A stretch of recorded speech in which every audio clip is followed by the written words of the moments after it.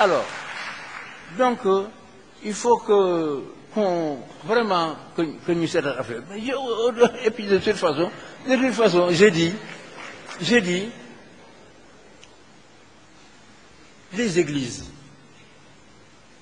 Hier, j'étais avec un chrétien.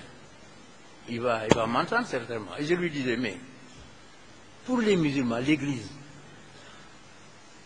c'est pour prier quelqu'un qui n'est pas Dieu. On prie Jésus-Christ dans les églises. Tout le monde le sait. Tous ceux qui parlent, ils savent. Mais est-ce qu'ils n'ont jamais dit de casser les églises? Est-ce qu'ils n'ont jamais fait des objections? Ils passent devant sans prendre considération de ce que les autres font là-dedans. Moi aussi, quand je passe devant une église, je, je ne m'intéresse pas à ce qu'ils font là-dedans parce que je suis musulman. C'est ça la tolérance. C'est ça la tolérance. Ils font leurs affaires, c'est la tolérance.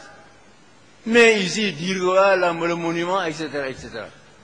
Alors que vous voyez, pire pour vous, hein, je dis dans votre sens, vous, de non-croyance, vous voyez pire, vous passez à côté à longueur de journée et jamais vous n'avez posé ce problème-là. Il faut qu'on se dise la vérité.